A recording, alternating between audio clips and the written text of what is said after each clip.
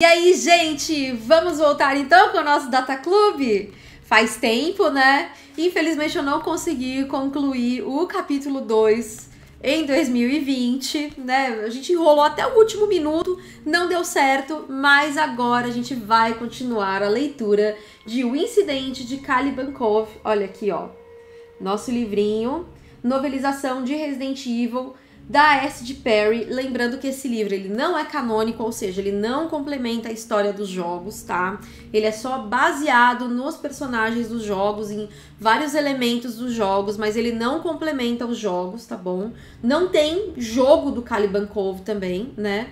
E a S. de Perry, ela tem a, a Rebecca como protagonista, porque na época que ela escreveu esse livro, a Rebecca era uma coadjuvante que ela sentiu que ela ia ter mais liberdade de explorar e criar uma história original. Tá bom, gente? Bom, vamos lá. Como funciona o Data Club para quem está começando agora 2021 com a gente aqui?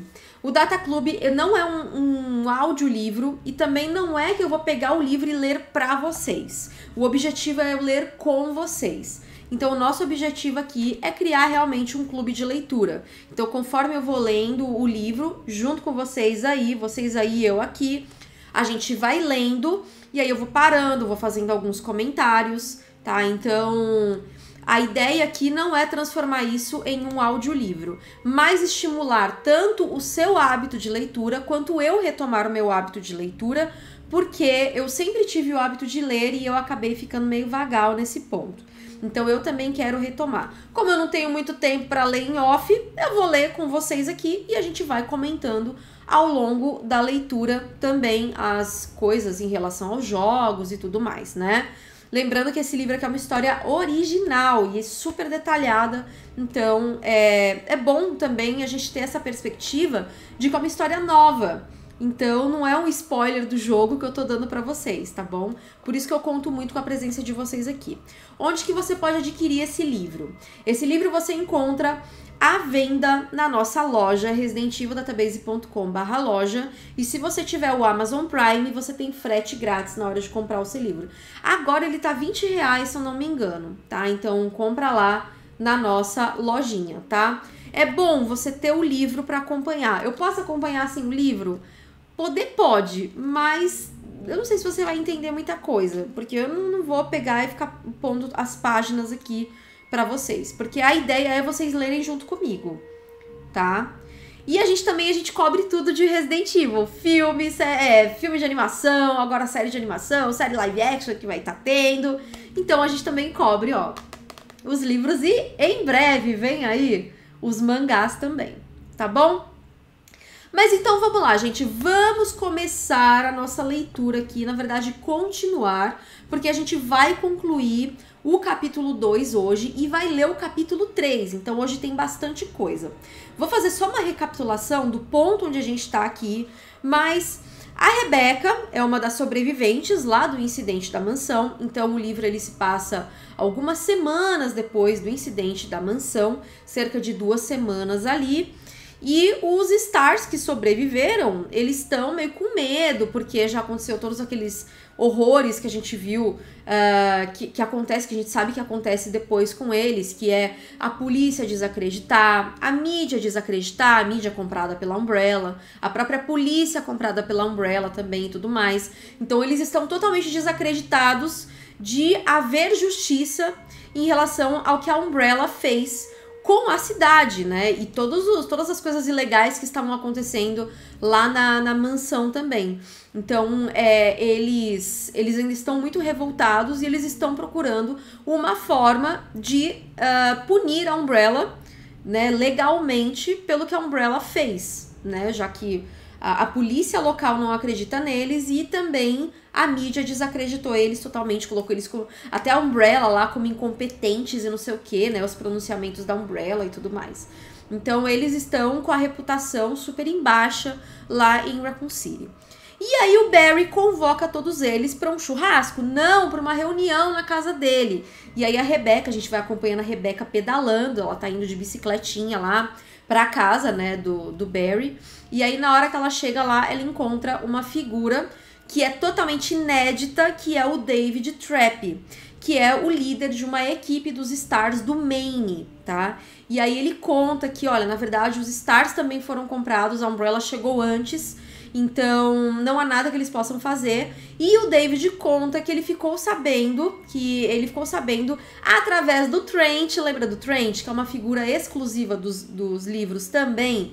O Trent é uma figura totalmente misteriosa que traz essas pistas para esses personagens-chave, tá?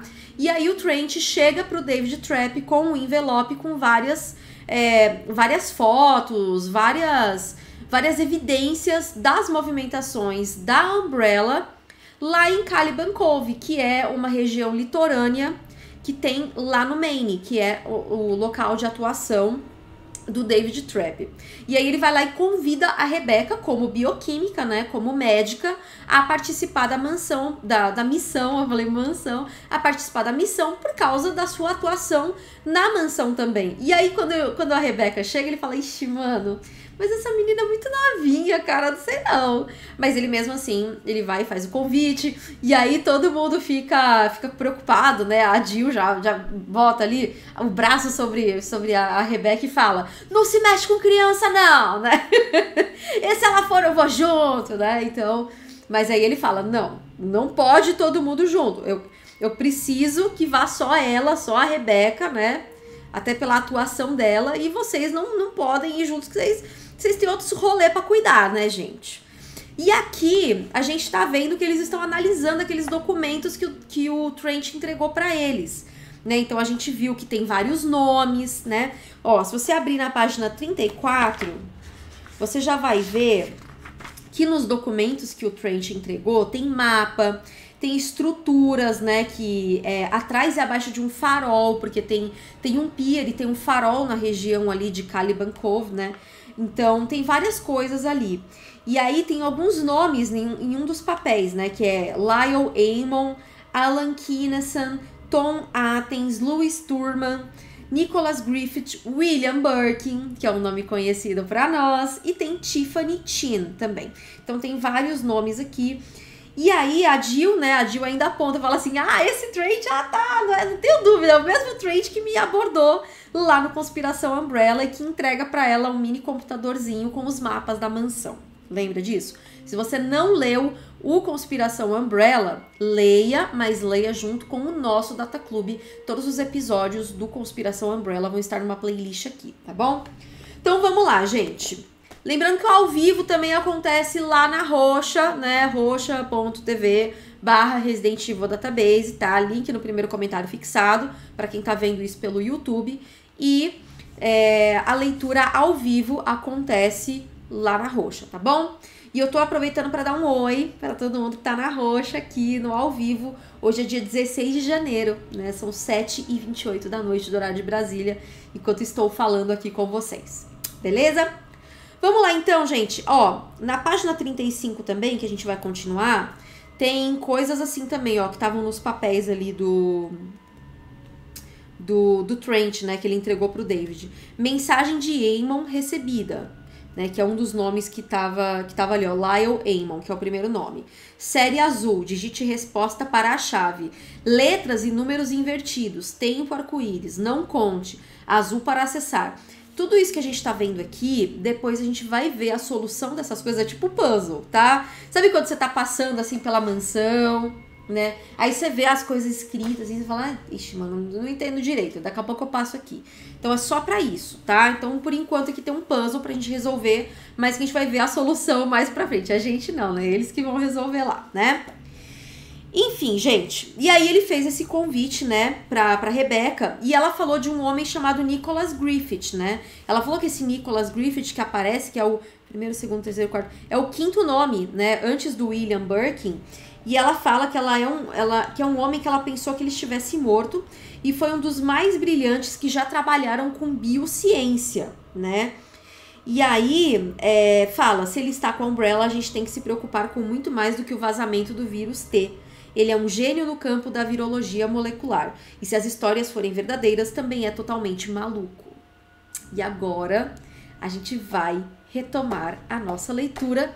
E eu já tô com meu cafezinho Oferecido pela Três Corações. Dona Três Corações mandou cafés gourmet e eu vou tomar o meu.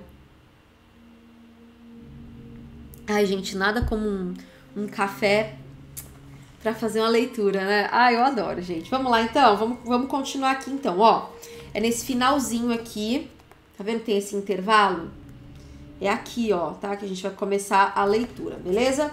Então, página 35 do livro. Vamos começar aqui, gente. Bora, bora. Rebeca olhou a lista novamente com o estômago embrulhado. E aí ela pensa, né? Dr. Griffith, Griffith, Griffith, vou chamar de Griffith, tá? Dr. Griffith ainda vivo e envolvido com a Umbrella. Dá para piorar ainda mais? E aí o David vai perguntar para ela: O que você pode nos dizer sobre ele? A boca de Rebeca estava seca. Alcançou o copo d'água e o esvaziou antes de deter o olhar em David. Eu vou tomar um gole para tipo simular. Quanto você sabe sobre o estudo de vírus? E aí ele sorri. Nada, por isso estou aqui. Rebeca assentiu, tentando pensar por onde começar. Certo. Os vírus são classificados de acordo com a estratégia de reprodução e com o tipo de ácido nucleico no virion, o elemento especial em um vírus que permite transferir seu genoma para outras células vivas. Uma pausa aqui, gente, porque isso aqui é uma aulinha de biologia e a gente está passando por uma pandemia. Então presta atenção na explicação da Rebeca sobre o vírus, tá bom? Vamos começar a leitura de novo, ó. Rebeca explicando com a minha dublagem. Certo, os vírus são classificados de acordo com a estratégia de reprodução e com o tipo de ácido nucleico no virion, o elemento especial em um vírus que permite transferir seu genoma para outras células vivas. O genoma é um conjunto simples e único de cromossomos. De acordo com a classificação de Baltimore, existem sete tipos diferentes de vírus e cada grupo infecta certos organismos de uma maneira. No começo dos anos 1960, um cientista jovem de uma universidade particular da Califórnia desafiou a teoria, insistindo que havia um oitavo grupo, baseado apenas em vírus de dsDNA e ssDNA, que podia infectar tudo que entrasse em contato com ele. Foi o Dr. Griffith. Ele publicou vários artigos, e se por um lado ele estava errado, por outro a argumentação era brilhante. Eu sei, eu li, a comunidade científica zombou da teoria dele, mas a pesquisa sobre corpos de inclusão viral no citoplasma, sem genoma linear. Rebeca abaixou a, a voz ao notar as expressões de dúvida no rosto dos amigos. Tava, ela tava, tipo, mandando bio, biologiquez, né? Biologiquez ali. Lembrando que muita coisa não. Né, gente? É ficção aqui. A parte do Dr. Griffith é ficção, tá, gente? Pelo menos eu acho que é só a parte do Dr. Griffith. Que eu me lembro das minhas aulas de biologia, só a parte do Dr. Griffith. E ela começou a meter o biology case ali. E aí ela para. Né, ela tá lá. Não, citoplasma sem genoma linear. Desculpa. Mas enfim, o Griffith parou de tentar provar a teoria, mas muitas pessoas quiseram ver o que ele iria propor na sequência. Jill interrompeu, franzindo o senho o senho. Onde você ouviu tudo isso? E aí a Rebeca continua. Na faculdade. Um dos meus professores era meio maníaco por história da ciência. A especialidade dele eram teorias furadas e escândalos. E daí? O que aconteceu? perguntou David. Quando a gente ouviu falar do Griffith de novo, foi porque ele tinha sido expulso da universidade o Dr. Vax. Esse meu professor contou que o Griffith tinha sido demitido oficialmente por usar drogas, metanfetamina. A meta afeta a mina. No, no caso, afetou o Griffith, né, gente? A meta dele de, de provar o bagulho. Tá, parei. Mas havia um rumor de que ele estava fazendo experiências com dois alunos para modificar o comportamento pela indução de drogas.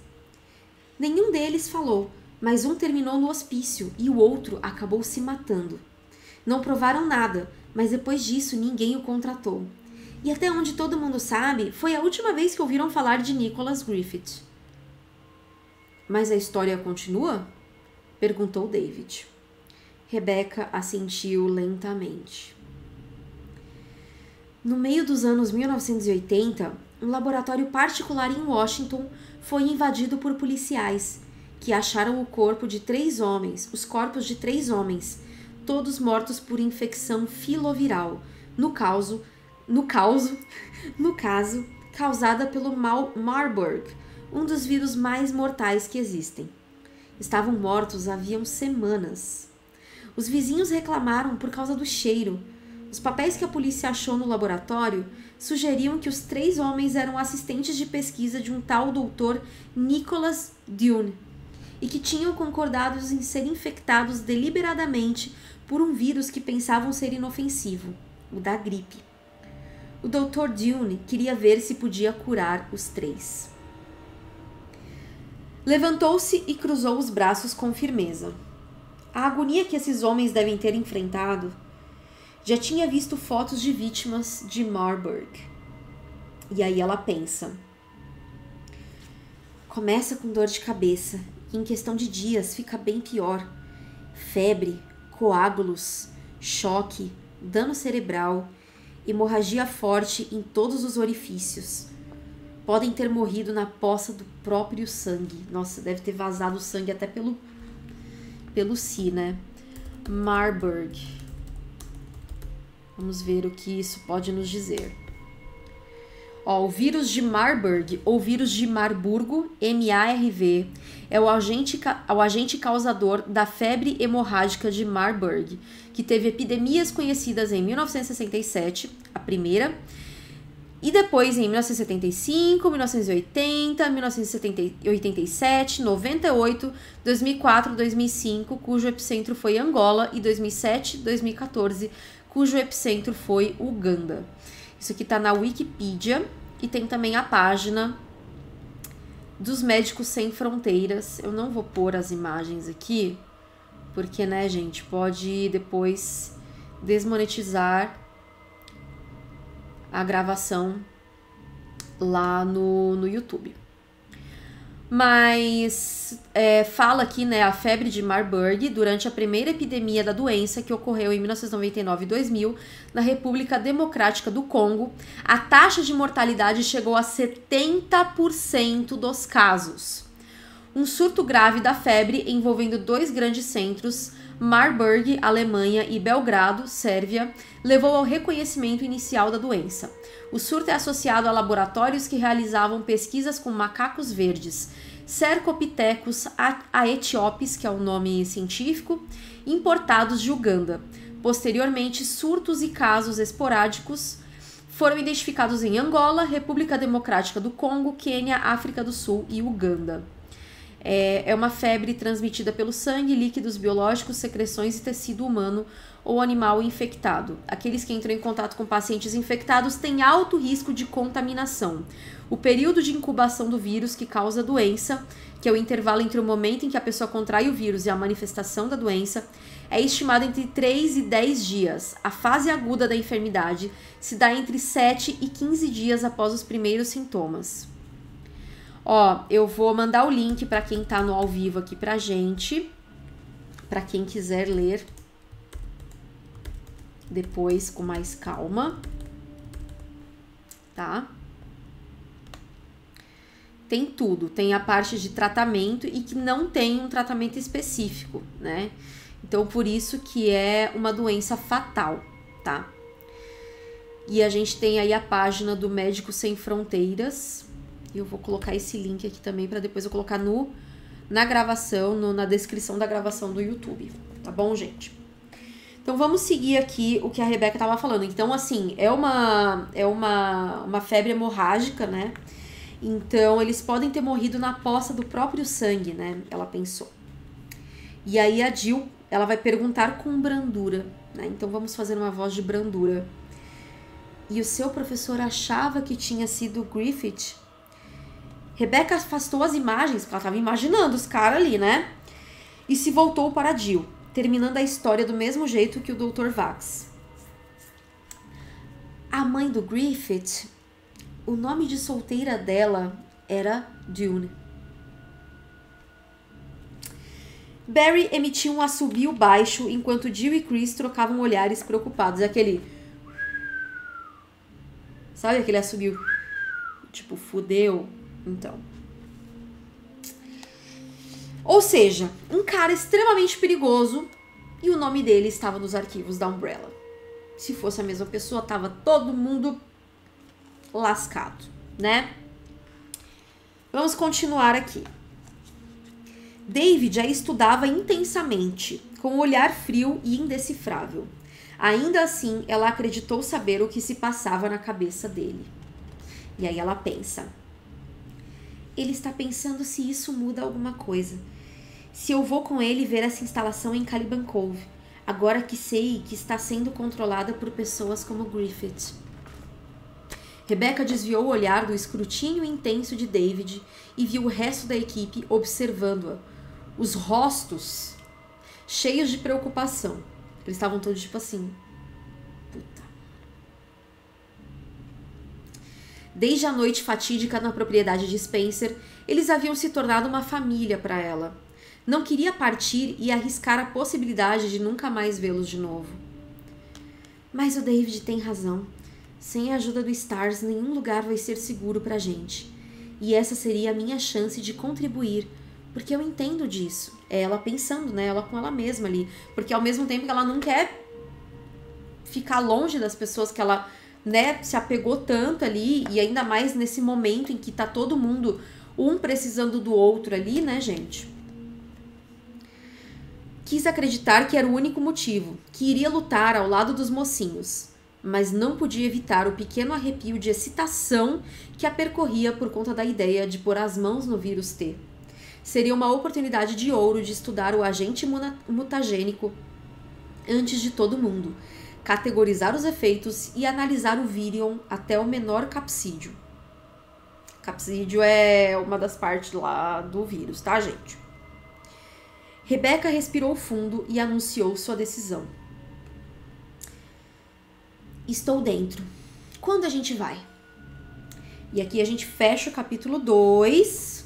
Vou tomar um golinho de café e a gente vai entrar no capítulo 3.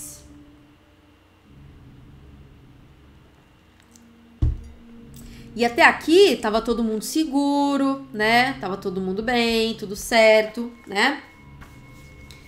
E vamos lá, vamos pro capítulo 3 então, gente. Página 39, capítulo 3 de O Incidente de Caliban Cove. Vamos lá. Jill sentiu o coração disparar com as palavras de Rebecca. Uma sensação de que as coisas estavam caminhando rápido demais, de que não estavam preparados. A decisão parecia repentina, porém Jill nunca duvidou que ela se candidataria. Rebeca era muito mais forte do que aparentava. E eu quero fazer só um parênteses aqui uh, do finzinho do capítulo 2. Tá? Ela falou que a Rebeca, né? Ela falou que a, a, a Jill falou que, que a Rebeca é mais forte do que aparenta. O Chris pode dizer com propriedade isso, porque a Rebeca deu um show de maturidade durante o, o, a conspiração Umbrella, o incidente da mansão, no livro. A Rebeca ela dá um show de maturidade ali, de profissionalismo também. Ajudou pra caramba, né? E não só com a experiência dela, mas em tudo. É, como, como soldado mesmo, ela ajudou muito, apesar de ser super jovem. E ela. E ao mesmo tempo, eu acho muito legal que ela fala que assim. Ela não quer perder o, os amigos, né? Ela não quer ficar longe deles. Ela sente que é importante participar disso, desmantelar esse caso, mas ela tem o lado humano dela, que é a adrenalina, que é o fato de que eu, como uma biomédica, posso ter acesso a esse vírus e poder estudar ele. E, tipo, é praticamente um, né? né? É, um, é um tesão para ela isso, sabe? na parte profissional dela. Então eu achei muito legal ter essa breve citação de lá dentro dela não quer falar para ninguém, mas lá dentro dela tem esse lado da ambição também, porque ela é totalmente humana. Então ela quer ter acesso a esse vírus para ela poder estudar ele, né, gente? Olhou ao redor da sala, da ampla sala de Barry, notando com discrição a reação dos colegas. O rosto de Chris estava tenso, a boca repuxada enquanto olhava sem atenção o mapa de Caliban Cove. Ele tava tipo assim. Sabe quando seu olhar tá parado assim?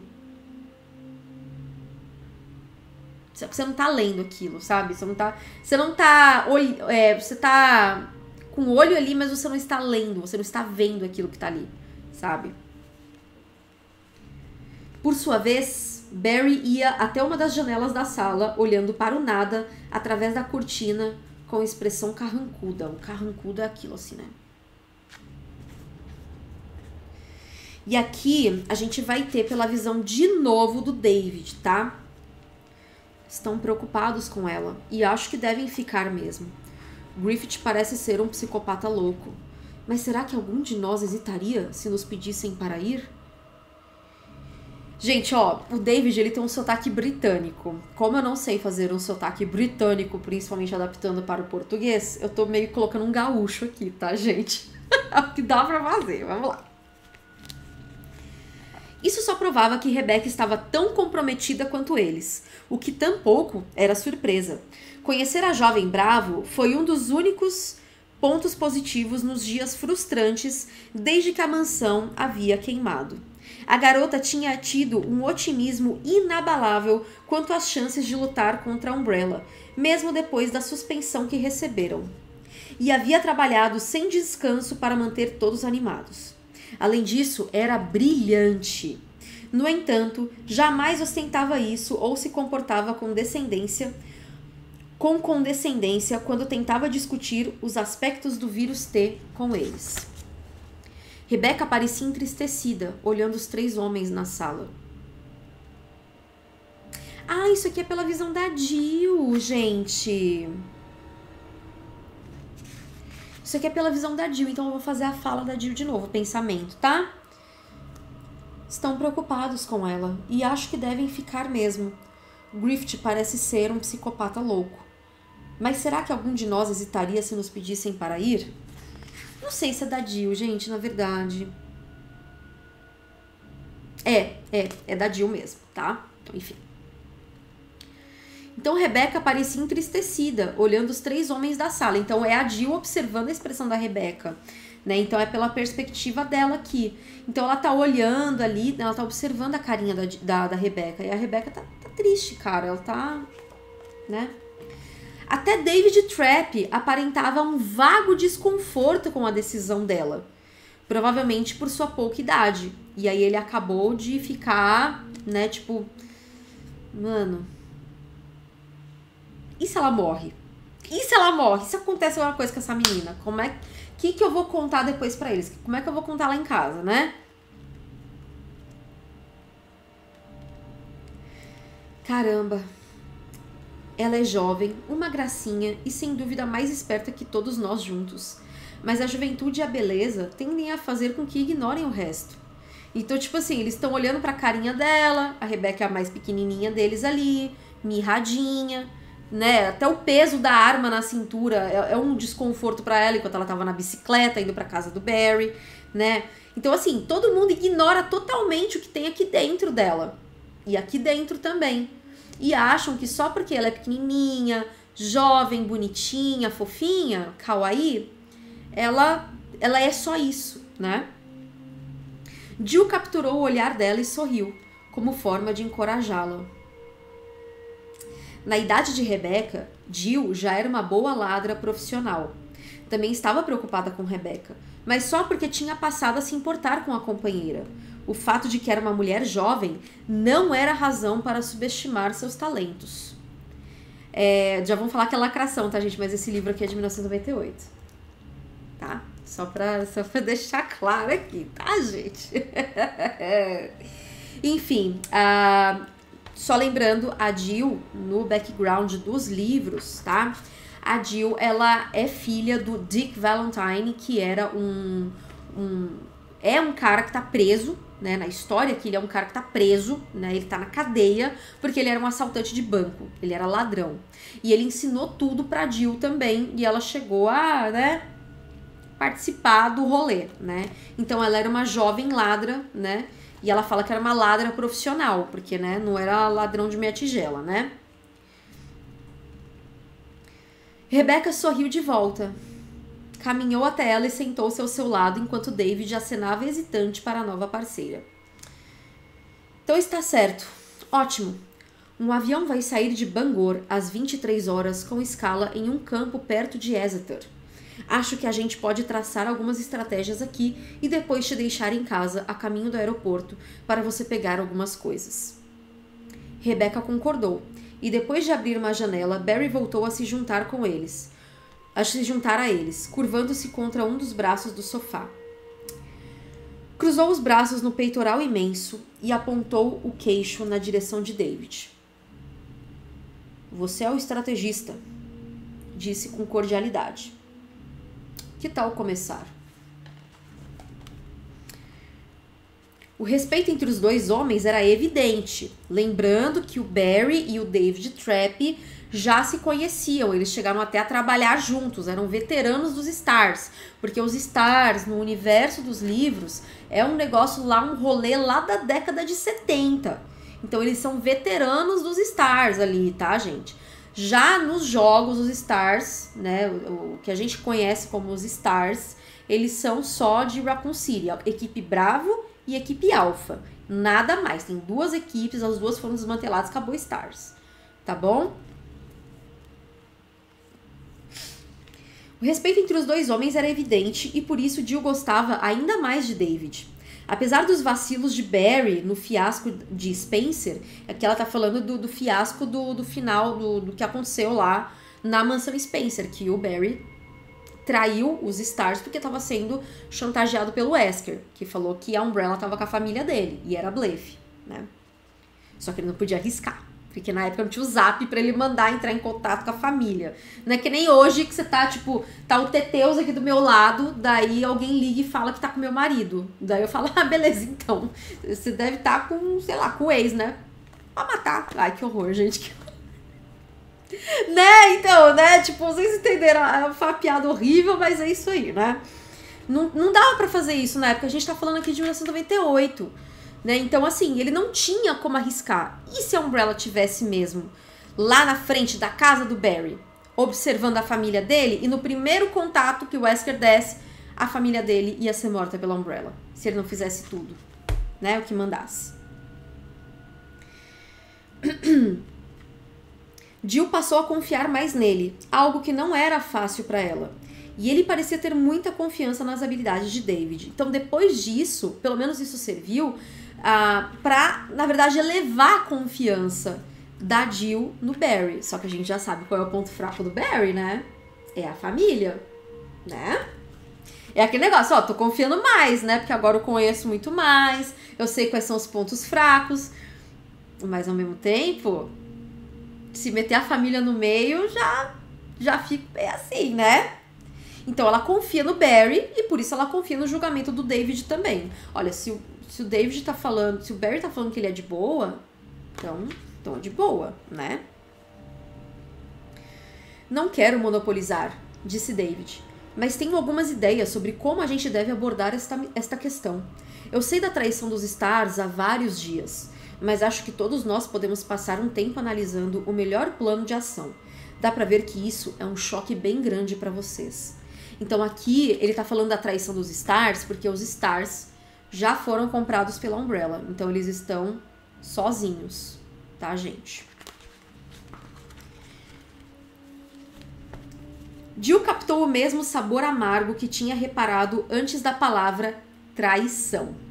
O fato de que o Stars dormia na mesma cama que a Umbrella obviamente não agradava ao Sr. Trap. Stars, financiados pela Umbrella, tanto nos jogos quanto nos livros, quanto nos filmes da Mila. Então a gente tem um padrão aqui, tá, gente? Isso é canônico em todas as mídias de Resident Evil, tá bom? Ou pelo menos quase todas que a gente não sabe da série da Netflix, né? E aí a Jill vai pensar. E provavelmente o Chris e o Barry também não gostam. Os dois dedicaram muito mais tempo aos Stars do que eu ou a Becca. Porque a Jill ela foi transferida, né? Ela, ela trabalhava em outros rolês e aí ela foi transferida pro. Ela entrou pros Stars, né? Jill estava brava e chateada, porque o Stars tinha se vendido, mas isso não influenciaria sua decisão de trabalhar para acabar com a Umbrella. O caminho dela havia sido determinado no dia em que as irmãs McGee foram assassinadas brutalmente. Lembra lá no começo do Conspiração Umbrella que a Jill ela tá saindo para uma reunião lá no RPD ou DPR, que é o Departamento de Polícia de Raccoon, né? Então ela tá indo para uma uma reunião do DPR e ela tá com vários papéis na mão, ela deixa cair os papéis e caem justamente as fotos de duas crianças que foram mutiladas. Essas crianças eram a Rebeca e a Pris, é, Priscila e me falhou o nome. Rebeca e Pris, não era, gente? Beck e Pris. Acho que era isso. Beck e Pris, que eram duas irmãs que eram vizinhas da casa dela, que são as meninas Maggie aqui na história, tá? Então, por isso que ela por isso que ela, tipo, foi a motivação dela para entrar nesse caso também. Porque quando ela se mudou para Raccoon City, essas irmãs é, meio que cuidavam dela, assim, sabe? Tipo, é, ficavam brincando no quintal dela. Ela não tinha ninguém, ela não conhecia ninguém em Raccoon City quando ela foi transferida. Então essas duas menininhas ficavam lá no quintal dela, é, de vez em quando iam lá visitar ela, levavam presente para ela, né? Então ela se apegou às duas meninas como se fossem as únicas amizades que ela tinha em Raccoon City. E aí um dia essas meninas é, foram assassinadas. Ela descobriu que essas meninas foram assassinadas. Então, essa foi a motivação. E só voltando para a palavra traição que a gente tem aqui, a gente tem. A gente teve três traições até agora, né? A gente tem a traição, na verdade, quatro, né? Se a gente for contar tudo para eles aqui, né? Que é o seguinte: a gente teve o fato de que eles descobriram que o capitão da equipe deles estava por trás de tudo, que é o Wesker. O Barry traiu também a equipe porque foi chantageado. A polícia, né, o Brian Irons traiu eles também a partir do momento em que arquivou o caso e, e falou que eles eram malucos. E depois, agora, quarta traição, que é descobrir que na verdade os Stars também traíram porque não iam fazer nada a respeito do que a Umbrella fez. Então, assim, a coisa vai escalando, né? A traição vai ficando cada vez maior. Como a gente pode ver, começou em uma pessoa e foi escalando cada vez maior, né? Então o sentimento deles de desconfiança das pessoas está muito grande. E aí a Jill, vamos continuar aqui, né? A gente tá falando das meninas das, das irmãs, né? da, da Maggie, né? As duas garotinhas eram as primeiras vítimas inocentes do vazamento do vírus T da propriedade de Spencer. Além disso, tinham sido amigas de Jill. Ela colocou os pensamentos de lado e se concentrou no problema em questão. Sem o Stars, o trabalho seria bem mais difícil. Não impossível, mas tinha que admitir para si mesma que a chance de sucesso havia caído para quase zero. Ainda bem que ela não se importava de ser considerada a zebra no jogo. E assim, aqui ela tá falando porque assim, não dá para contar com o arsenal dos Stars. Vai pedir arsenal para quê? Não dá. Então assim, eles estão, eles têm poucos recursos para lidar com essa situação toda. Deixa eu tomar um gole de café.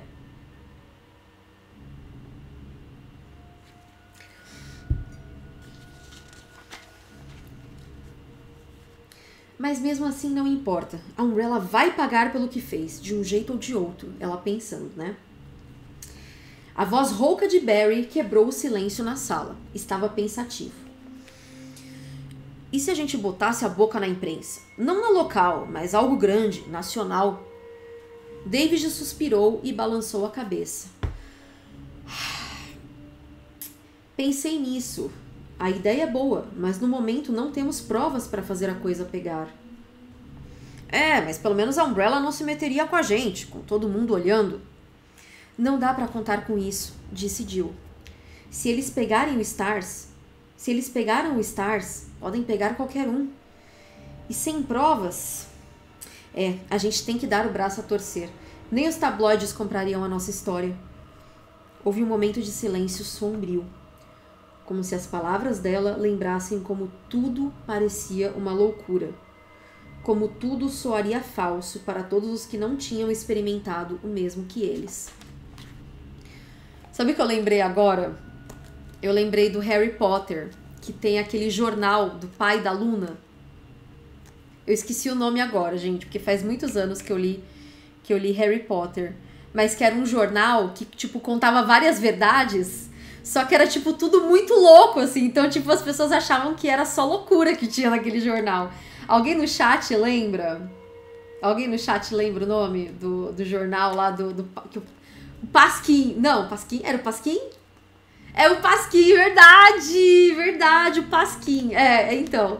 Tipo, até tem uma hora lá que eles usam, né, o jornal para isso, né? Era, é tipo um jornal sensacionalista, assim. Tem que ir lá no Notícias Populares. Ó, anos 90, mete no Notícias Populares, gente. É o jeito, né? E aí a Jill pensando, né? Que que ela. Olha a loucura, né? um vírus que acidentalmente transforma as pessoas em zumbis e é usado para criar monstros indescritíveis como armas vivas. Inventado e depois acobertado por uma grande corporação que contrata cientistas loucos para fazer experiências com seres humanos. Só falta um criminoso de guerra nazista com uma bomba atômica para ter um best-seller nas mãos. O realista, né, gente? Realista. Aí o Chris agora que vai, vai falar, né? O Chris estava quieto até agora, agora o Chris vai, vai, vai falar. Porque o Chris tomou um pito, né, gente, do David mais cedo, né? No, no, no capítulo do capítulo 2, né? Bem, aquilo que a gente comentava antes sobre organizar alguns stars, tenho algumas pessoas em mente, uns caras que fizeram treinamento comigo, e sei que o Barry tem muitos contatos. David concordou. Sim, acho que isso tem que ser prioridade. Minha preocupação é como entrar em contato com eles. Os escritórios das divisões já podem estar grampeados e a gente quer evitar que a Umbrella saiba dos nossos planos o máximo de tempo possível. Infelizmente, não poderemos usar os recursos do STARS por muito tempo. E se a gente procurasse um intermediário? Perguntou Jill lentamente. Alguém que não seja relacionado com STARS? Chris sorriu de repente. Eu imaginei o Chris. Sabe quando não. que ele conhece a Eva, aquele. eu imaginei. Desculpa. Aí o Chris vai falar: Conheço um cara da Força Aérea que agora trabalha para Jack Hamilton, um dos chefes de seção do FBI. Não sei muito sobre Hamilton, mas Pete é bastante honesto e está me devendo um favor. Eu amo. Sabe o que eu amo nesse, nesse livro? E eu só quero confirmar antes de dizer isso pra vocês, mas é que esse nome me soa familiar. Já vou ler pra vocês aqui, só pra não achar se eu tô louca.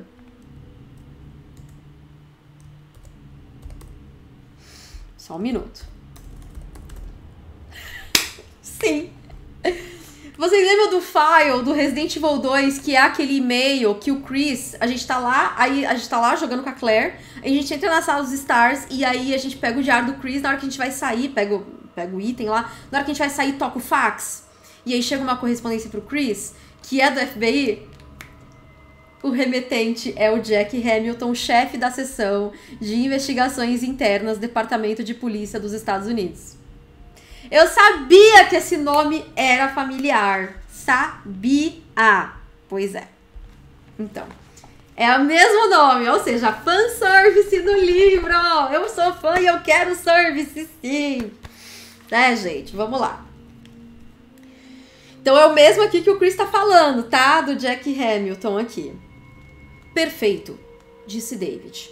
Talvez você possa pedir a ele para te ajudar a procurar na polícia local também. Assim que a gente tiver uma prova concreta da instalação no Maine, a gente vai até o seu amigo e instiga uma investigação federal. Parecia bom, mas Jill estava frustrada com a conversa. Queria agir. Esperar o Stars contatá-los já tinha sido ruim o bastante. Saber que Rebecca estaria arriscando a vida enquanto esperavam de braços cruzados seria terrível. Você disse que tinha algumas ideias sobre outras coisas que a gente podia fazer. Não, eu acho que é a Jill que tá falando aqui, desculpe. Nossa, tá todo mundo. A Rebeca tá quietinha aqui. Tá, é a Jill mesmo, gente. Achei que era a própria Rebeca, tá? Você disse que tinha algumas ideias sobre outras coisas que a gente podia fazer. Disse ela. David assentiu. Assentir é tipo concordar. Né?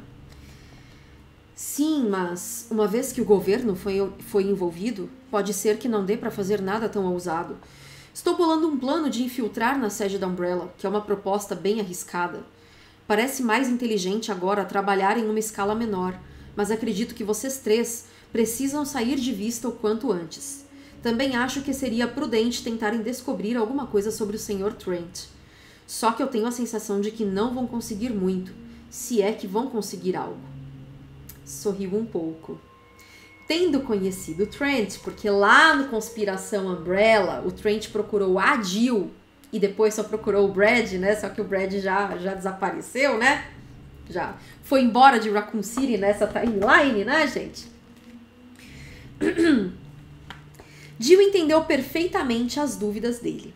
O estranho benfeitor havia se mostrado aos olhos dela um homem extremamente cuidadoso. Tenho a impressão de que a gente só vai descobrir o que ele quer que a gente descubra, continuou David. Mas vale a pena dar uma olhada. E a gente vai ter que arranjar um local de encontro depois que. A voz suave e musical se quebrou de repente quando inclinou a cabeça para um lado, escutando com atenção. Jill ouviu no mesmo instante e sentiu o coração congelar no peito. Um murmúrio nos arbustos do lado de fora da janela que Barry havia aberto. Ou seja, ainda, os coitados ainda têm que passar calor, porque tem gente espiando eles. Né? Não pode nem abrir a janela, tem que passar calor. Né? Então eles escutaram você tá assim, aí você escuta alguém conversando, então. E aí ela pensa, Umbrella! Pro chão! gritou Jill e rolou para fora do sofá, puxando Rebecca consigo enquanto a janela era estraçalhada e as cortinas destruídas pelos disparos de um rifle automático. Já pegando a arma, David desviou e caiu à medida que as balas perfuravam a poltrona em que tinha se sentado, Tufos do estofamento voaram diante de seus olhos arregalados, enquanto buracos incandescentes se formavam na parede, com reboco e madeira para todos os lados. Mas que porra! A Jill pensando, né? Houve uma brevíssima pausa no ataque violento, o suficiente para que ouvissem o vidro ser estilhaçado no fundo da casa. Ou seja, o pau tá torando, gente. Deixa eu até tomar um café aqui, porque olha, Isso me lembrou o Guina no Racionais, na música do Guina, que ele fala: todo mundo pro chão, pro chão. Tô brincando, desculpa. Tô brincando nada, mas me lembrou. Fazer o quê? que eu posso fazer, gente? É isso. Barry, as luzes! gritou ele, mas Barry já havia se adiantado e o barulho do revólver Colt encobria o ruído intermitente da metralhadora. A sala ficou escura quando os disparos de Barry atingiram o objetivo e houve uma chuva de vidros vinda do teto. A luz ainda se esgueirava pela escuridão através do hall e ouviu-se outra saraivada de tiros que chegava de fora. Chris engatinhou até o corredor e, com um movimento ligeiro, deitou de lado para acabar com as luzes que faltavam. Agora a sala de estar estava numa escuridão completa e as rajadas de arma automática pararam. Apesar do zumbido nos ouvidos, David ouviu botas contra a grama na parte de trás, na cozinha. Os passos pesados se interromperam. O intruso provavelmente esperava que o atirador da janela o alcançasse. E aí a Jill pensa: aqui já teve pausa? Não.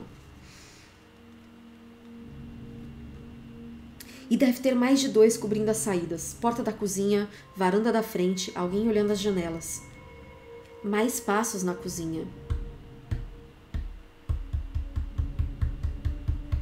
Apressados e arrastados. Porém, se detiveram.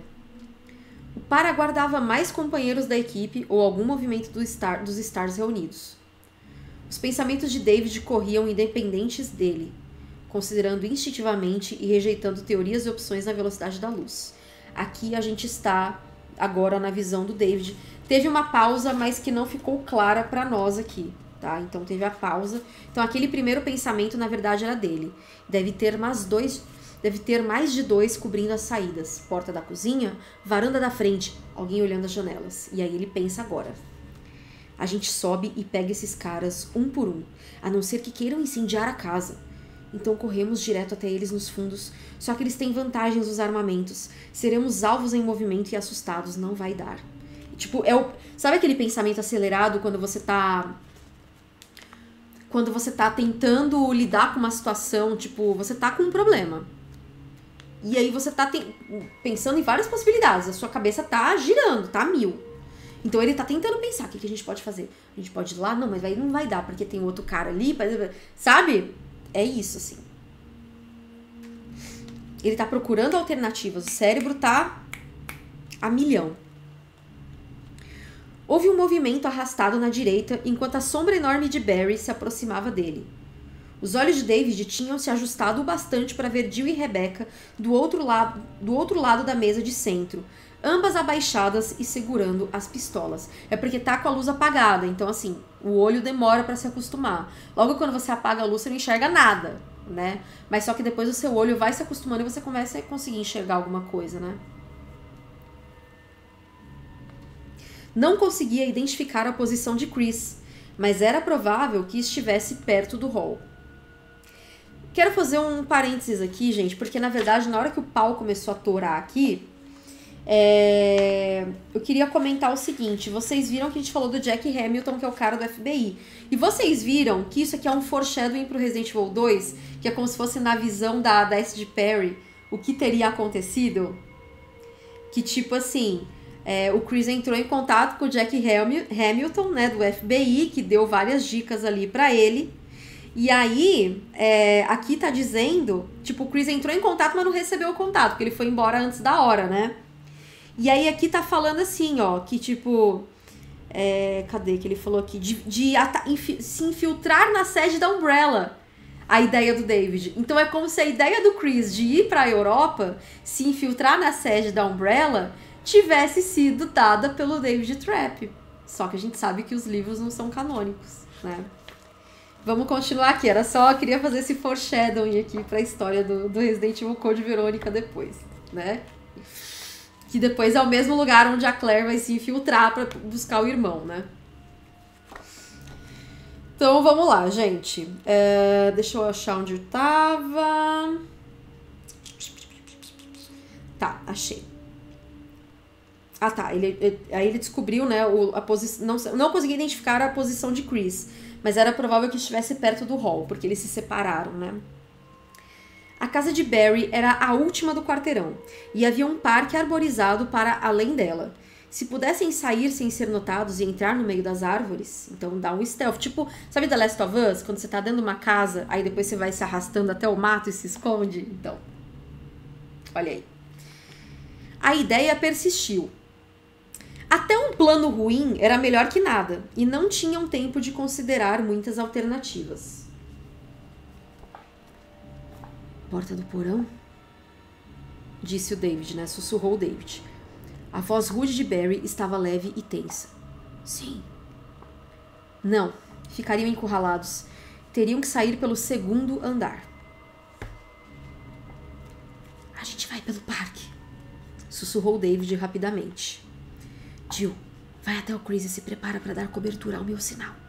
Barry, Rebecca, Assim que a gente correr, vão para a escada rápido e até uma janela do lado direito e pulem com cuidado. A gente está logo atrás. Prontos? Vão! Jill já estava contornando o sofá, desaparecendo em silêncio nas sombras fundas, com Barry e Rebecca atrás. David se deteve o suficiente para pegar os papéis que Trent havia deixado, porque é coisa importante, né? Vai largar os papéis lá que, a, que eles precisam, tem os mapas, tem os negócios, não dá, né? Colocou-os dentro da camisa Coisa que os Stars não fizeram dentro da mansão. Que ódio! Colocou dentro da camisa. Não precisava nem colocar dentro da cueca, da calcinha. Colocasse dentro da camisa. David ganhou pontos comigo. Puta merda. Sério, por que que os Stars. Lá, eu sempre me perguntei isso. Por que, que não levou uma prova? Por que não levou? Tudo bem que na sala dos Stars, no Resident Evil 2, no Resident Evil 2 clássico, dá a entender que tem prova, sim. Tipo, os crests lá, né? Aqueles emblemas de madeira, de ouro. Dá a entender que sim, eles levaram. Mas, na verdade, não, né, gente? Né? Eles não tinham prova nenhuma. No fim das contas. Então vamos lá, né? Levasse um, um documento da Umbrella, cara, pra provar. Um carimbo, né? Com assinatura. Pelo amor de Deus. Tirava mil cópias, deixava uma com cada um. Meu Deus, espalhava pelo mundo, mandava pelo correio. Pro mundo inteiro. Tipo, melhor estilo Meninas Malvadas. Tirava um monte de cópia e jogava, assim. Que nem a Regina George. Eu faria isso. Sou dessas.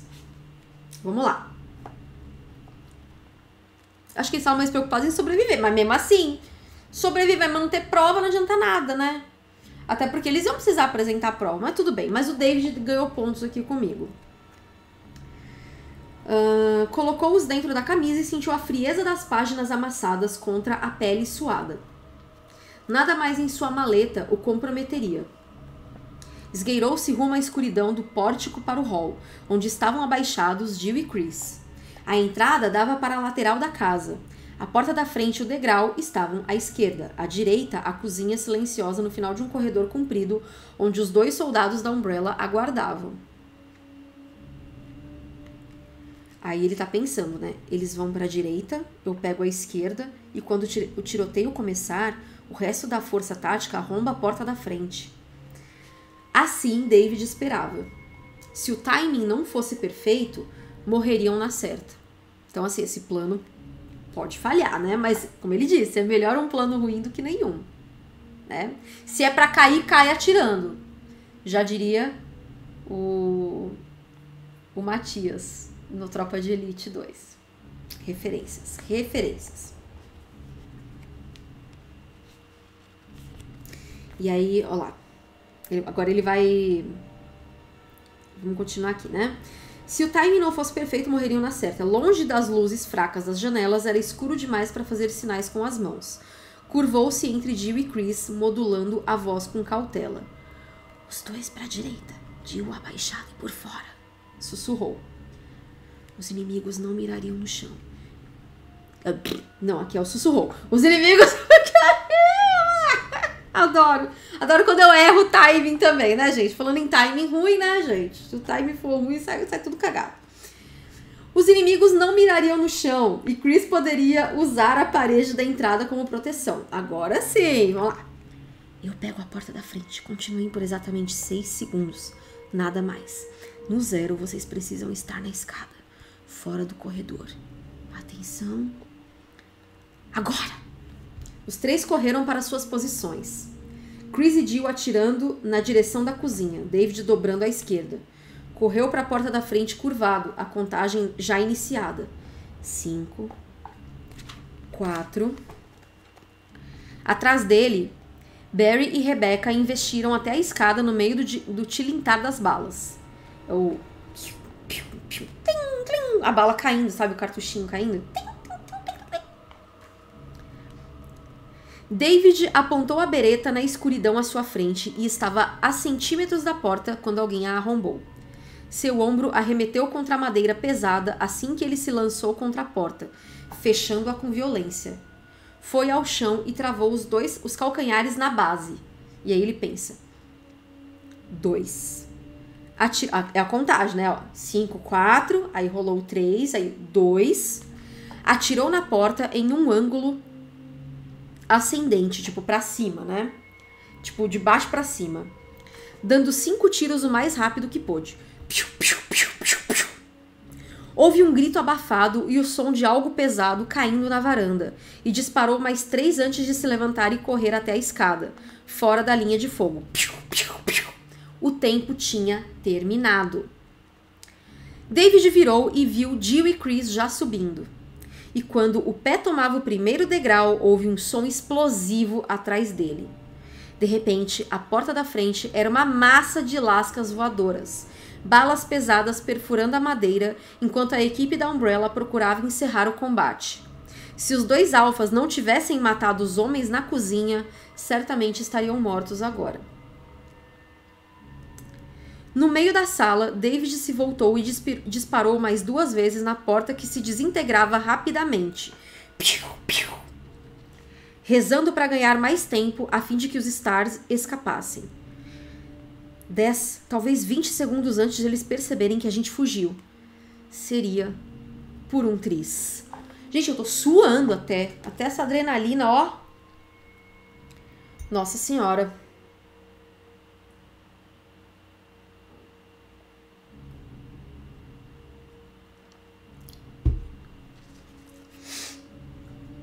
Então vamos lá, agora a gente vai mudar de perspectiva aqui, hein?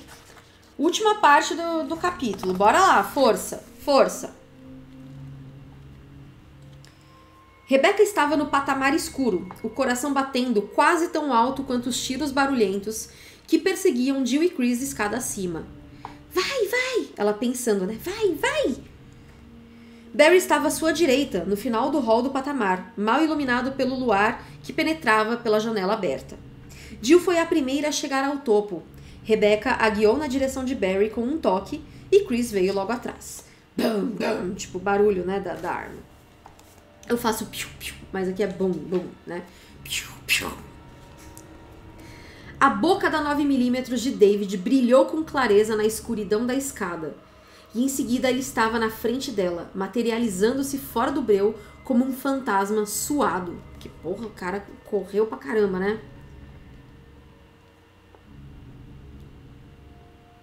Por aqui! Rebecca virou e correu para a janela com David a seu lado. Jill já havia ido e Chris estava quase saindo enquanto Barry pegava a mão do amigo, que lutava para se equilibrar. E aí ela pensa: por favor, meu Deus, que tenha um colchão, uma pilha de folhas e o negócio e o pau torando lá. O ruído da porta da frente arrebentando foi seguido por passos pesados e vozes masculinas abafadas, nervosas e autoritárias, que é aquele. Cadê eles? Cadê eles? Onde é que eles estão? Eles não estão mais aqui. Os caras correndo. Sonoplastia, gente, é isso. É isso. É a verba que a gente tem, tá? Chris desapareceu, desapareceu através da janela e então Barry estendeu a mão para ela. Rebecca colocou a pistola novamente no coldre e foi para a janela. Com a mão quente de Barry nas costas, ela se apoiou no peitoril e olhou para baixo. Havia Seb em um dos lados da casa, exuberante, numerosa e absurdamente longe de onde estava. Seb é tipo aqueles arbustinhos, sabe? Alto, assim. Essa parte me lembra o trailer do Village. Bem lembrado, Antro. Olha, ó, o foreshadowing. Pensou um dia o Chris vai ser o cara que faz isso, gente. Um dia você é a caça. No outro você é o caçador, cara. Olha. Olha isso, gente. Olha o foreshadowing aí. ai, ai, é. Deu uma olhada em Jill, que estava na grama apontando a arma na direção da frente da casa enquanto Chris olhava para cima, o rosto contorcido de tensão. Não pensa, pula logo. Rebecca deslizou pela janela. Os dedos fortes de Barry encontraram sua mão. O ombro rangeu quando a gravidez, a gravidez, a gravidade fez seu trabalho. Barry se curvou para que a queda fosse mais amena e o corpo dela ficou suspenso no ar. Ele a soltou e, antes que pudesse sentir medo, caiu nos arbustos. Sentia uma dor fraca, pois ramos e galhos roçaram as pernas nuas, e imediatamente Chris a estava puxando, levantando-a com facilidade da sebe retorcida. Ela estava de bermuda, porque é, é, nesse momento da história tá calor, é verão, né? É, é verão, então ela estava meio que de bermuda, né? Cuida dos fundos, disse Chris, e a atenção voltou para a janela. Rebecca puxou o revólver ao pisar o gramado, virando-se para ver as sombras que cobriam o quintal dos fundos. À esquerda, um punhado de árvores estava a uns 20 metros de distância, silêncio, silencioso e imóvel. Rápido, rápido! Isso aqui é tudo pensamento dela. Ouviu um barulho ensurdecedor de tiros dentro da casa e um ruído nos arbustos à direita, mas ela não se desviou, empenhada em realizar a tarefa recebida. Eu acho muito bonitinho que ela, ela tipo, ela ela apesar dela dela sentir, né, que putz, tem um bagulho aqui, mas, mas tipo, me dera ordem, né? Eu sou a mais nova aqui, e se alguma coisa errada? Vai sobrar pra mim. Então, né, faz o seu papel e se tiver outra coisa, aí a tarefa é de outra pessoa, né, gente? É o famoso Cada um, cada um com suas tarefas, né? Cada um, vocês que lutem. Literalmente, no caso aqui, né? Lutem para sobreviver, né? Um movimento na lateral da casa. Rebecca não hesitou, mandando dois tiros na sombra grande, com o 38 de Barry saltando em suas mãos. Porque o Barry emprestou uma arma para ela, porque a Rebecca não tinha arma. Tanto que ela reclama no, no primeiro episódio primeiro capítulo, ela reclama que a arma tá pesando muito nela, né? Que ela não tem esse hábito de andar armada, né? Então ela deu dois piu, piu, né? A figura se contorceu, caindo para frente o bastante para que ela visse que tinha acertado um homem que portava um rifle e não se levantaria mais. CPF cancelado com sucesso. Que horror. E aí ela pensa: nunca tinha tirado em ninguém. Anda! gritou Chris. Rebecca olhou ao redor e viu Barry saindo dos arbustos e indo na direção deles. Houve um grito da janela, seguido de uma rajada de rifle automático. Rebecca chegou a sentir as balas acertando o chão perto dos pés, arrancando pedaços da grama, da grama crescida. A sujeira bombardeou suas pernas. Merda! Ela pensa, né? David e Jill atiraram de volta enquanto corriam para as árvores, Chris à frente. O atirador tinha desviado ou tinha sido atingido. O retinir vago do rifle se calou. Ao chegar à primeira sombra na mata, Rebecca ouviu o alarido de sirenes que se aproximavam, acompanhando, acompanhado de perto por gritos e passos apressados na varanda da frente de Barry. Segundos depois, um carro brecou cantando pneus. Tipo, a polícia chegou, né? Algum Algum vizinho ouviu o barulho, chamou a polícia, ficou todo mundo quieto, esperando a polícia chegar. E aí sim, a polícia chega e todo mundo sai. Meu Deus, o que tá acontecendo? Não! Ai meu Deus, será que acertaram o Barry? Será que mataram as meninas? Ai meu Deus do céu! Sabe aquela vizinha? Então.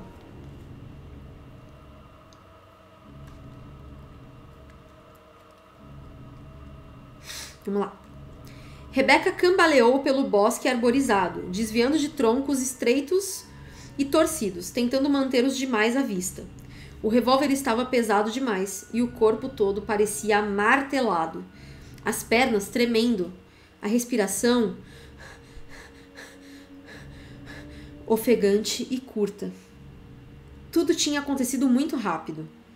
Sabia que estavam em perigo, que a Umbrella os queria fora do caminho. Mas saber algo não era o mesmo que acreditar em algo, e acreditar que estranhos violentos invadiriam a casa de Barry para tentar apagá-los. E o apagá-los aqui tá em itálico para destacar. E aí ela pensa, porque ela acabou de matar um cara, ela nunca matou ninguém, né? E ela pensa, em vez disso, talvez eu é que tenha apagado um deles. CPF cancelado com sucesso, Rebeca. Era você ou ele, né? A ideia de que possivelmente tinha matado alguém. Ela afastou o pensamento antes que pudesse se fixar, concentrando-se na forma pálida da camiseta de Chris à frente. A consciência teria que esperar até que tivesse tempo de refletir sobre o ocorrido. Na frente deles, a mata espessa se abria em uma clareira, com brinquedos de parquinho brilhando ligeiramente na luz pálida. Chris diminuiu o ritmo e parou onde acabavam as árvores virando-se para procurar as sombras dos demais. Rebecca o alcançou, Barry e Jill logo atrás, todos respirando pesado e aparentando perplexidade e sobriedade, tal qual Rebecca. Então ela, eles estão tipo. David! Cadê o David? Arfou Chris, e enquanto todos se voltavam, forçando os olhos para ver além dos galhos escuros, Rebecca viu um movimento de uma sombra à esquerda. Um movimento furtivo, deslizante. Cuidado! Foi ao chão assim que gritou, uma nova onda de terror percorrendo seu sistema. E a sombra atirou neles duas vezes. Tiros emudecidos se comparados à explosão na casa. Houve um terceiro disparo, mais alto, mais perto, e a sombra cambaleou e caiu, chocando-se contra uma árvore antes de ceder e desmoronar. Exceto pelo ruído crescente das sirenes, o parque estava em silêncio de novo. Então, tipo assim, eles estavam lá, cadê o David? Apareceu uma pessoa, ia atirar neles, só que tomou tiro. Rebe Rebeca ergueu a cabeça lentamente, ela tava assim, né? Ela fez um. Olhando por cima do ombro e viu David de pé, ainda apontando a bereta para o atirador caído. Jill e Chris estavam abaixados perto dela, ambos empunhando as armas, procurando algo com os olhos arregalados. Eles estão tipo assim, mano. E do outro e do outro lado, Barry estava estirado no chão, de cara para os pinhos secos e folhas que haviam morrido muito tempo atrás. Não se mexia. Barry foi acertado pelos dois disparos. E assim a gente encerra o capítulo 3 de O Incidente de Caliban Cove. E lembrando, né, gente? Os livros não são canônicos. Ou seja,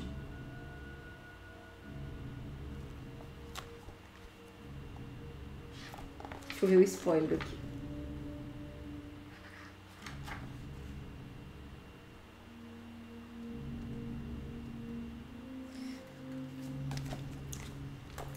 Bom, gente, quem tem o livro já sabe, né? Se você não tem o livro ainda, aí, para você saber o que já aconteceu com o Barry, você vai ter que comprar o livro e esperar até semana que vem pro próximo episódio, tá bom, gente? Então, ó, já compra seu livro lá em residentevildatabase.com/barra loja, tá bom? Enfim, gente, essa foi a nossa leitura de hoje. Semana que vem a gente vai ler o capítulo 4 de O Incidente de Caliban Cove. Dá tempo de você comprar o seu livro, dá tempo de você se colocar em dia com os capítulos anteriores. E lembrando que o ao vivo é só na Twitch no sábado às 19 horas do horário de Brasília. A gravação pro YouTube, se você tá vendo pelo YouTube, vai só 24 horas depois, tá bom? Então é isso aí, né, gente?